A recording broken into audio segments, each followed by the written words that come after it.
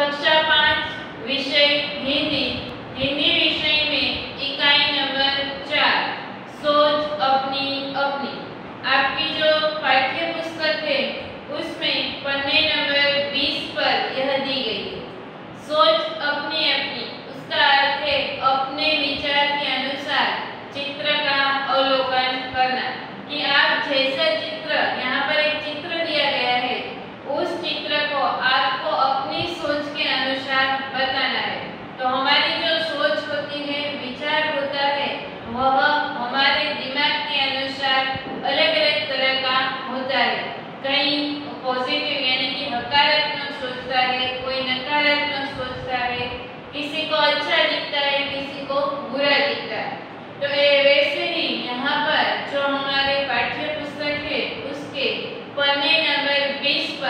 हमें एक चित्र दिया है। उस चित्र के बारे में आज हमें अभ्यास करना है।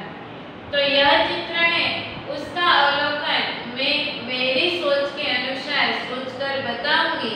आप अपनी सोच के अनुसार भी उस चित्र को सोच सकते हैं और लिख सकते हैं। तो यहाँ पर हम देखें तो यह चित्र है। वह एक प्रकृति के गोद में खिले एक गाँव का चित्र है यानी तो જે આપણું કુદરતી વાતાવરણ છે એ વાતાવરણની અંદર સુંદર મજાનું એક ગામ આપેલું છે इस गांव में कई सारे घर हैं मंदिर है पेड़ है और पर्वत भी हमें दिखाई दे रहा है तो यहाँ पर इस चित्र में हम देख सकते हैं कि ये एक सुंदर गांव का चित्र है और इस चित्र में हमें घर मंदिर नारियल का पेड़ पक्षी उड़ रहे थे। सूरज, पर्वत, गाय चरवाहा कुत्ता आदि का चित्र हमें दिख रहा है। तो इस गाँव का जो हमें चित्र दिया गया है, उस गाँव में यह सुबह के वातावरण का चित्र है कि सुबह हुई ही है और सूरज है, वह निकल रहा है। उसका यहाँ पर चित्र हमें दिया गया है कि सूरज है, वह सुबह के समय जैसे पर्वत के बीच से निकलता है, वैसे ही हमें इस चित्र में दिखाई दे रहा है। तो पक्षी है तो पक्षी हमें पता है कि रात को रात को अपने घोंसले में सो जाते हैं। घोंसला यानी माळ તો જે પક્ષી છે રાત્રે તો પોતાના માળામાં સૂઈ જાય છે। તો એ કહે છે कि पक्षी सुबह होते ही दाना चुनने के लिए निकल पड़े थे तो पक्षी છે ये બધા સવાર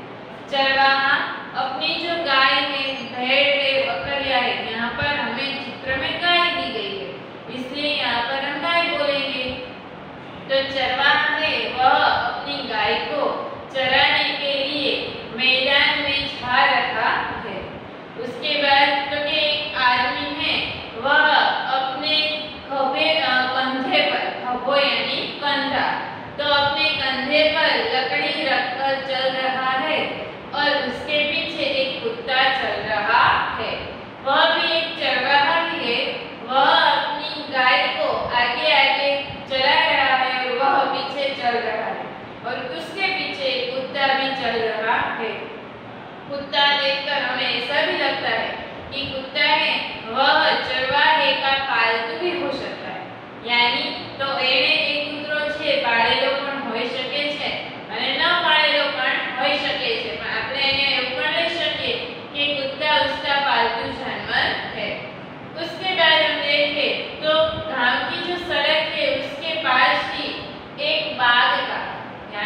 बगीचे का एक चित्र है और इस चित्र में तीन बालक तीन बालक खेल रहे हैं उसमें दो लड़कियाँ हैं और एक लड़का। बाप का चित्र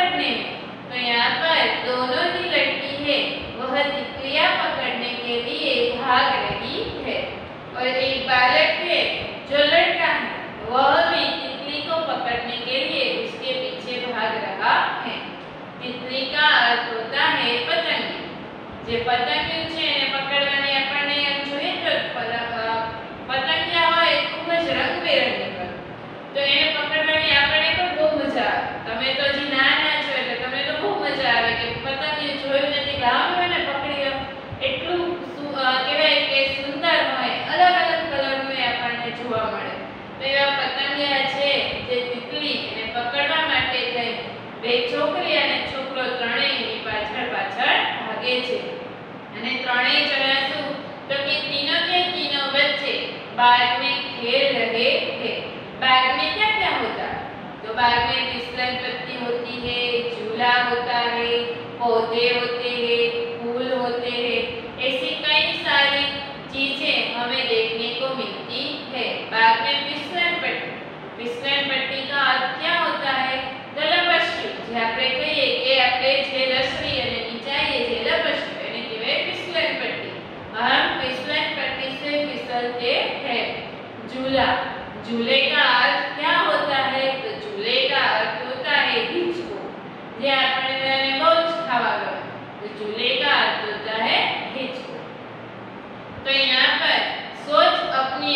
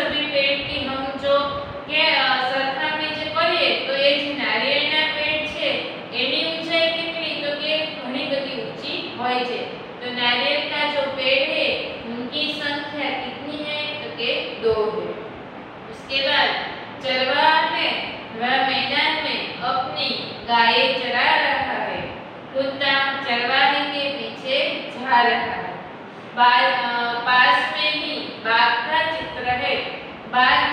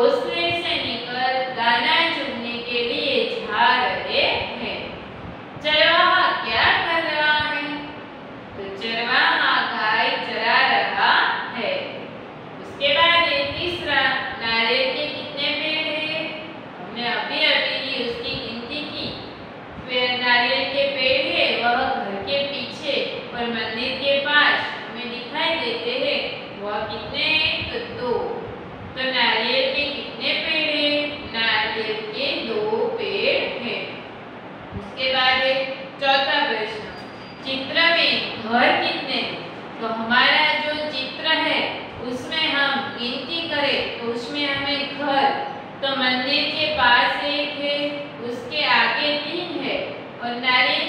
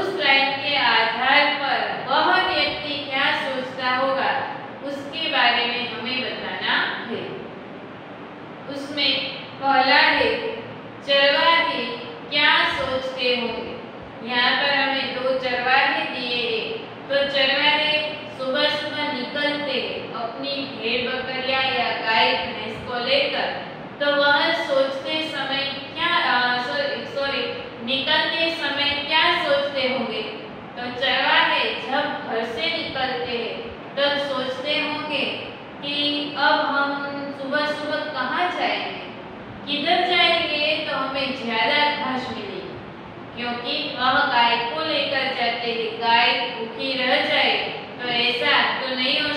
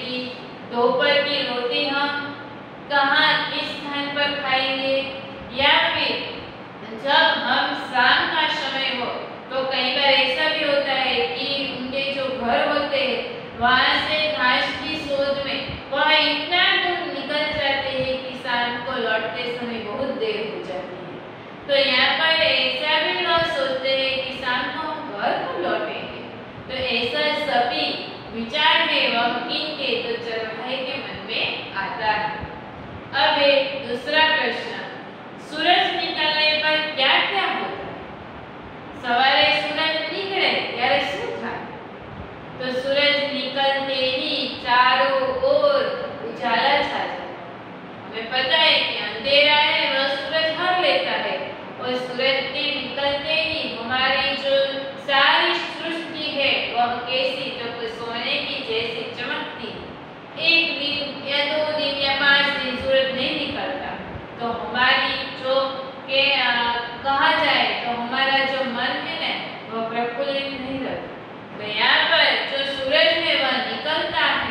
The Bakshi Eva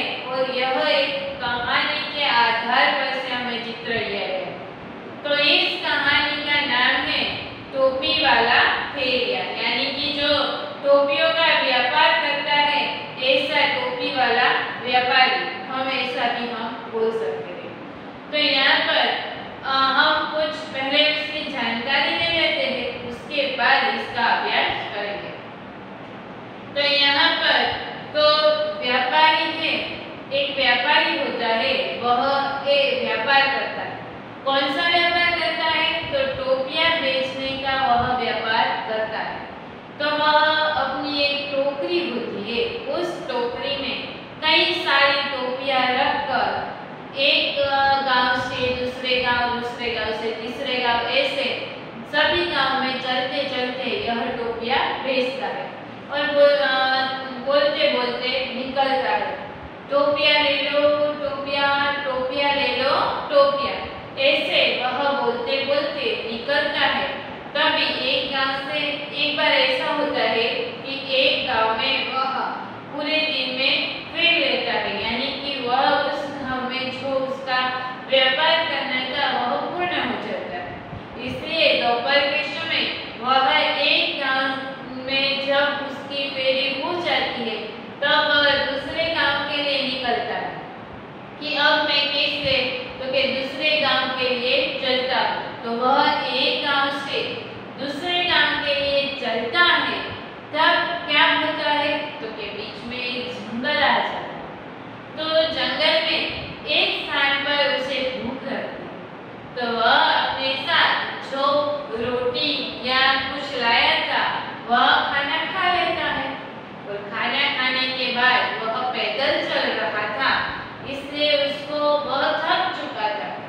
से वह थोड़ी देर वहाँ पर लेट जाता है। इसी एक वृक्ष के नीचे वह लेट जाता है।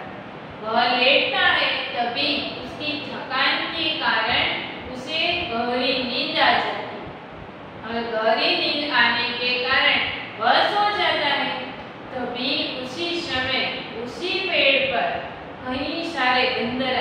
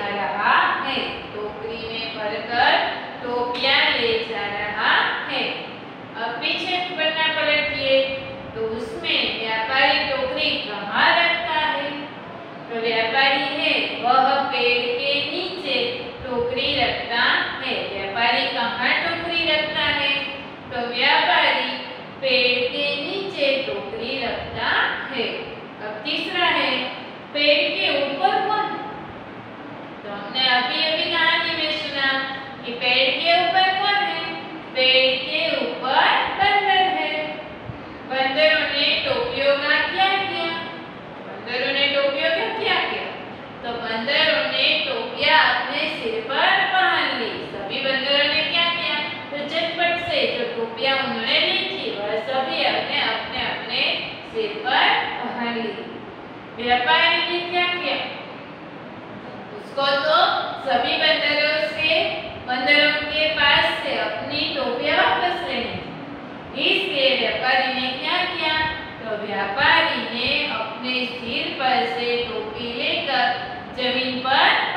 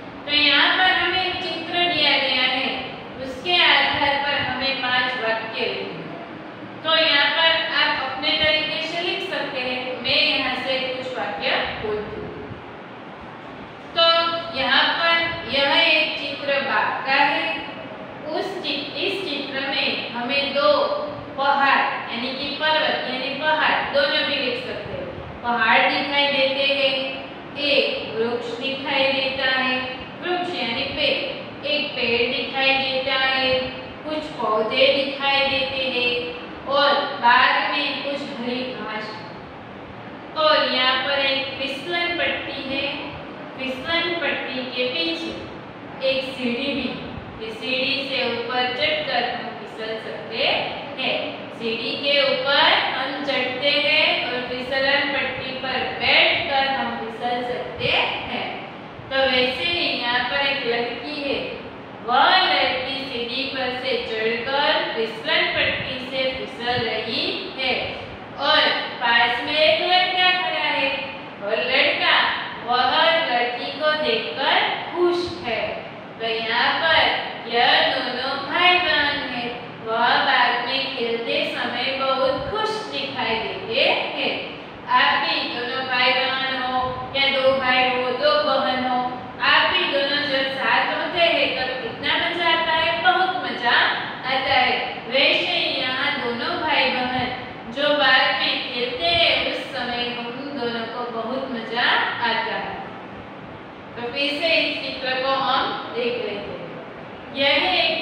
का चित्र है इसमें दो पहाड़ है एक पेड़ है कुछ पौधे दिखाई देते